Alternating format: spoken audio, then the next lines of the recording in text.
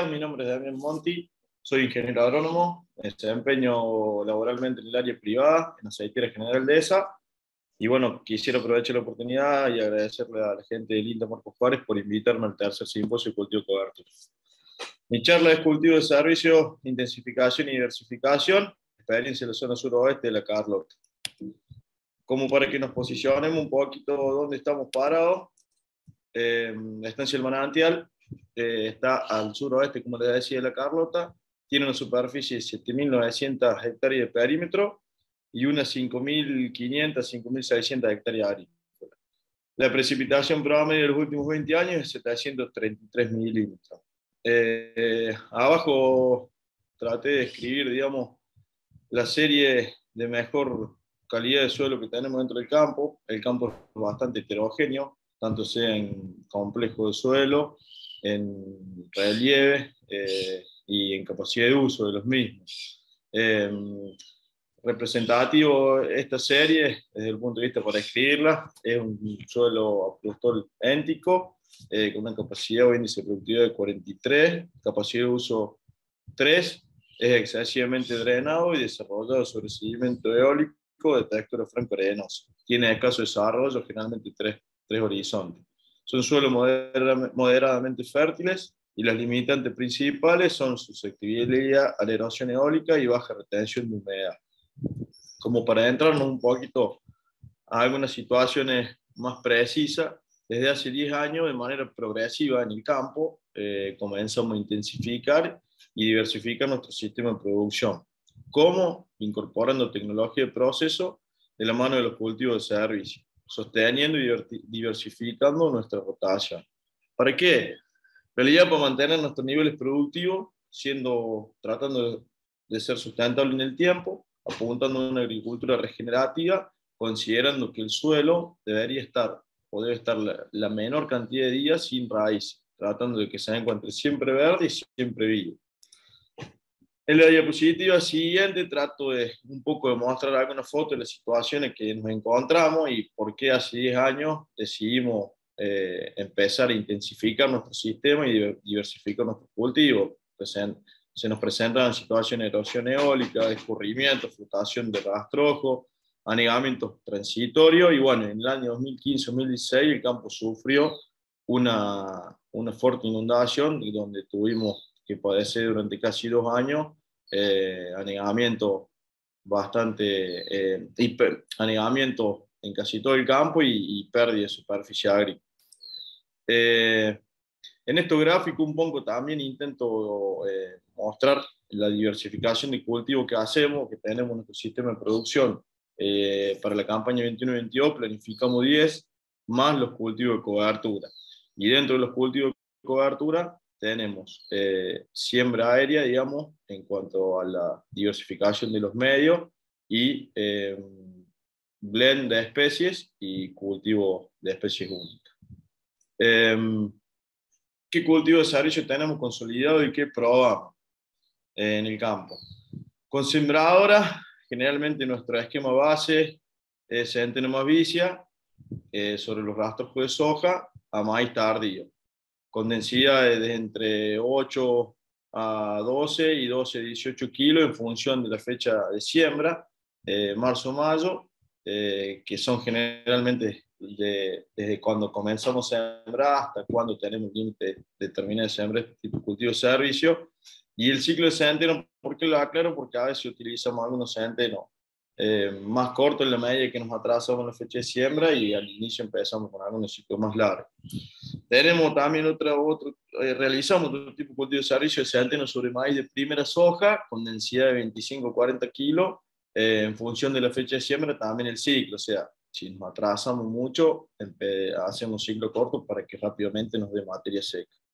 Eh, centeno sobre soja mani, dentro de uno de los cultivos, dentro del campo, uno de los cultivos del mani, eh, y todo el, el, cultivo de mani se hace sobre cultivo de servicio, centeno es la especie que utilizamos y la densidad varía también en función de la fecha de siembra. Si sembramos temprano 25, si nos vamos tarde unos y en este sí utilizamos el centeno ciclo corto.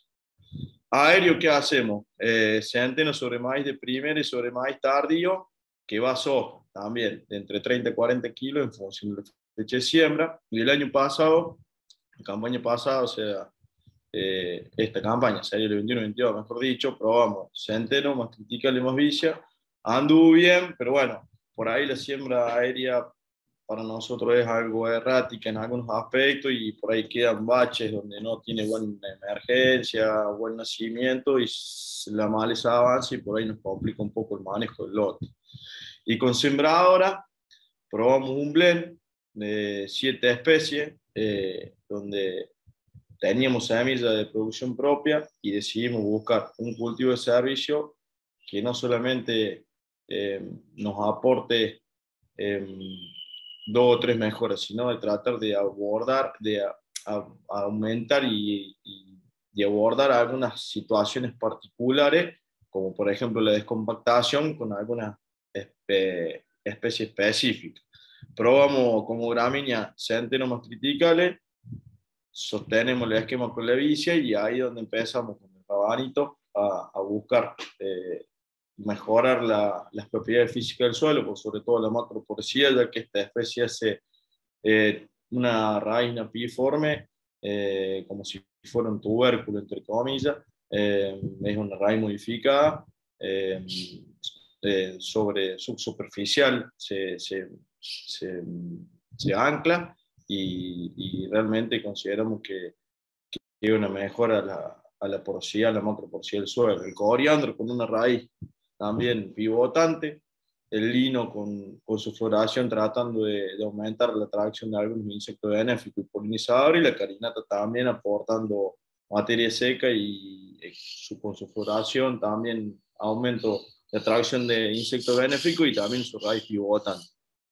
Las densidades que manejamos fueron 7 y 7 de gramínea, 12 de vicia, 3 del rabanito, 1 y medio de coriandro, 1 de lino y medio kilo de carinata. Eh, ¿Dónde la sembramos? Se sembró sobre maíz de primera eh, como antecesor a girasol, se sembró sobre girasol como antecesor a sorgo y se sembró eh, sobre rastro de soja a, como antecesor a maíz tardío.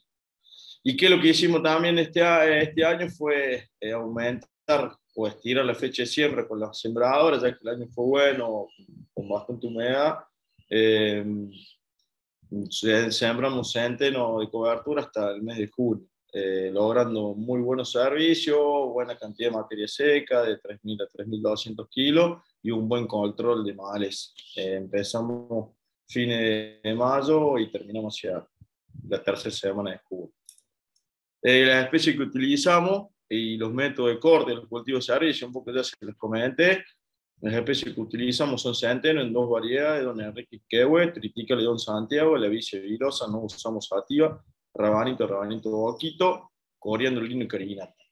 Utilizamos dos métodos de corte para nuestros cultivos de servicio, por supuesto el químico, eh, con glifosato 2,4-D y en el caso de dicamba, dosis en función del volumen y, del momento de corte y cultivo de servicio, y el mecánico eh, que incorporamos el año pasado.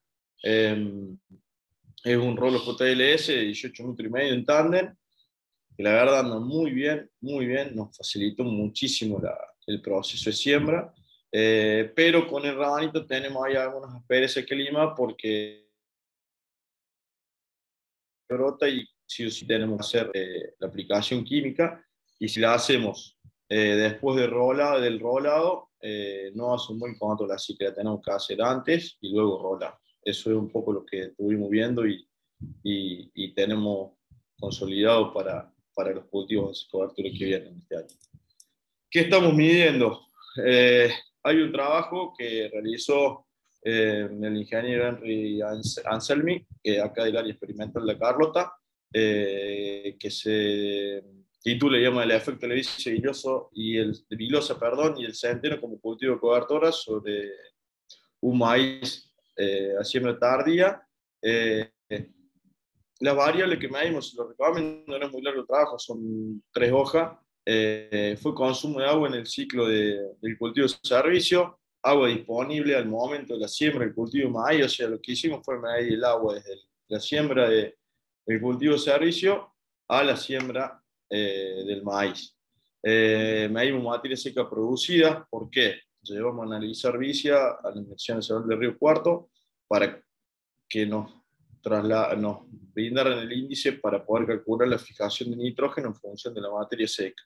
Eficiencia en el uso del agua, por supuesto, el aporte de nitrógeno, como le dijimos, como les dije, mejor dicho, y eh, el margen bruto para darle un análisis económico.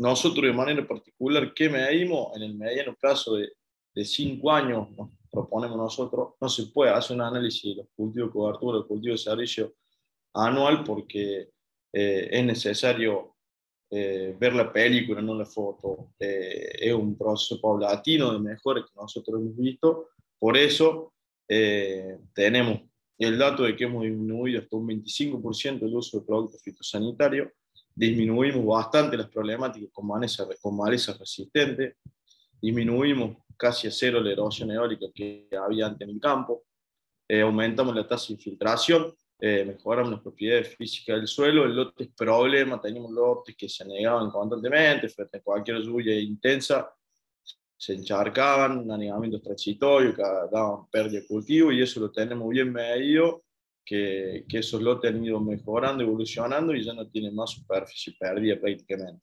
Y medimos aumento de la población de insectos nativos benéficos. Acá pongo un asterisco porque hay gente del CONICET con una empresa privada en, un, en una asociación granje que ya hace del 2019 estamos midiendo esto y bueno, eh, eh, estos biólogos que, esto, que están trabajando tienen eh, un relevamiento de todas las especies nativas, tanto sea de insectos como de especies vegetales, y los, los insectos nativos han ido evolucionando. Para adelante, como, como comentario y novedad, vamos a empezar a medir insectos benéficos. Eh, ¿Qué estamos viendo para adelante? Queremos seguir midiendo variables para generar información zonal, para facilitar la incorporación de esta, de esta práctica en los sistemas de producción eh, que están eh, cercanos al nuestro y que tengan certeza con esta certeza en cuando quieran obtener información y que sea local. Eh, tenemos que ajustar técnicas de proceso, como la mecanización del corte, del cultivo de servicio, para hacer un poquito más eficiente el uso de los recursos. Sé qué quiero decir con eso.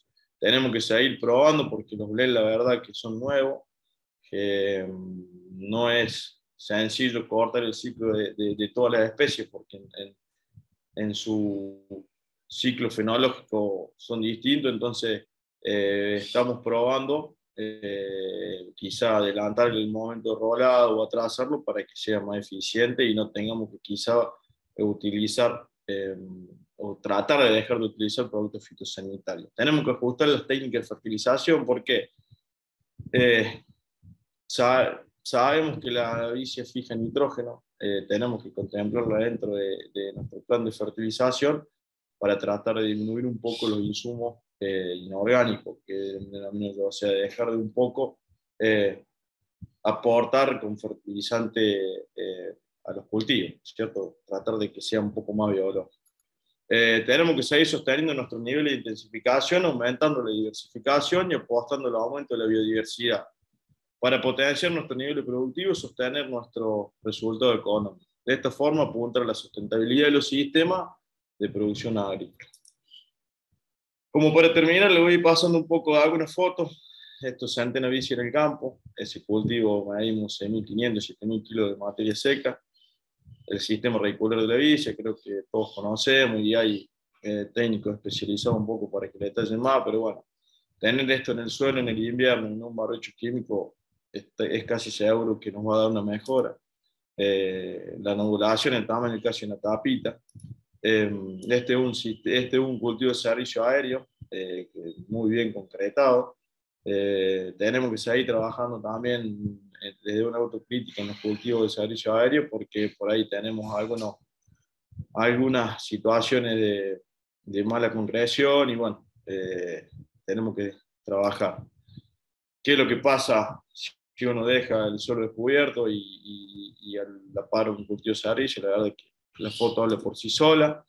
Este es el maní de este año, sobre centeno, como les contaba. El maní no tuvo las mejores condiciones del arranque, pero, pero no tuvimos demasiados problemas, más en algunos lugares puntuales. Eh, esta foto fue sacada hace 20 días, eh, bien, se concretó bien el cultivo. Este es el blend del cual les hablaba. Eh, ahí se puede ver la floración blanca, el rabanito boquito, la vicia, y bueno, no se pueden identificar mucho de, las demás especies, porque la verdad que un cultivo de servicio que generó entre 7.000 y 8.000 kilos de materia seca, eh, acá trabajando el rolo, el rolo más allá de, de, utilizarlo para el corte del cultivo de servicio, eh, nos facilita muchísimo la mecánica de la siembra, la verdad que hace un muy buen trabajo en ese aspecto, eh, como, el, como el de esta foto, mejora hasta un 60% de la operatividad.